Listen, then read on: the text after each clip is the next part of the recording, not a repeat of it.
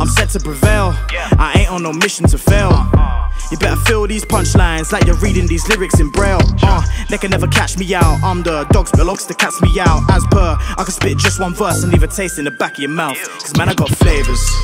What you know about flavors? I can see straight to the top on the spot and it's looking real spacious. Like goodness gracious, these man ain't got no flavors.